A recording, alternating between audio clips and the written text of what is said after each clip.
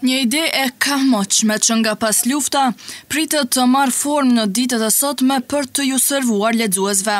Gjakova Re do të jetë revista periodike që do të shoqërojë lexuesin së shpejti. Kjo revistë ka një mision të veçantë të cilin e shpalosi shkurtimisht Ilir Hajdari, kryeredaktor i saj. Gjakova Re ka një mision, hulumtimin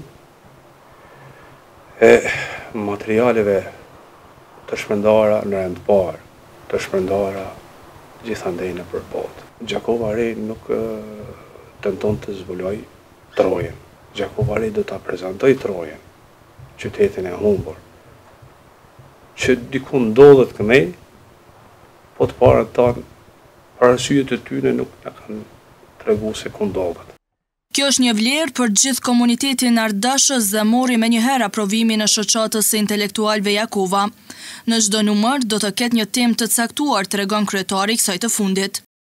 Është një e mirë jo vetëm për Shoqatën e Intelektualëve, e cila sivjet shënon njëzetvjetorin e regjistrimit si OJQ, jo vetëm për qytetin e Gjakovës me rrethinë, po më merr mendja që është një sihariq, një e mirë, një vlerë për krejt komunitetin artdashës. Për të gjithë ata të cilët donë me pasë në dorën e tyne një vlerë, siç ka me qenë periodiku Gjakova Re. Ndër të tjera, u tha se përmes Gjakovës së re do të krijohet mundësia të gjurmohet e kaluara e Gjakovës së vjetër. Periodiku do të shpërndahet në Gjakovë, por planifikohet që të ketë shpërndarje edhe në Tropojë, Bajram Curr dhe Krumë, duke ditur lidhjen historike që ka Gjakova me këto vende.